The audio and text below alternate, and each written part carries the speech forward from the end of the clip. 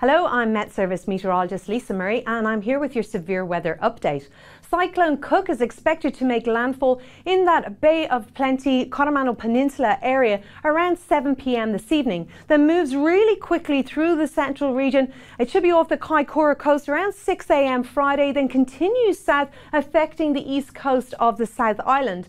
But it moves through really quickly, and we can see by the end of the day, most of the severe weather has finished, just affecting that last corner of the South Island there, while another system moves up the back end of this and affects western regions with showers and some heavy falls for some places. So let's have a look at the warning and watch areas for heavy rain. We've added the Kaikoura coast, that's just with the positioning and timing of that low, changing just a tiny bit. So Kaikoura coast, Kaikoura ranges as well. Short-term warning, they could see 50 to 70 millimetres in six hours there. So quite a heavy downpours.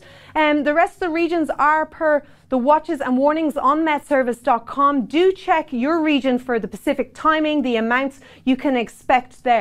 So if we look to the wind as well, and we can see gusting 150 kilometres per hour for those worst hit regions. This is uh, Coromandel Peninsula, Bay of Plenty, and into Taupo as well.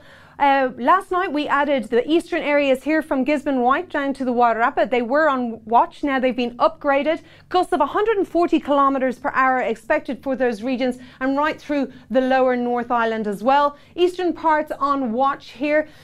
Do take care out there because these are extremely strong gusts. Um, it can affect high-rise vehicles, could take down trees as well, especially with the ground being so saturated. With the heavy falls, you could have poor, poor visibility while driving. You know, you could see some surface flooding as well, so good to keep up to date with NZTA. And if possible, do not travel during this period where there is severe winds and rain.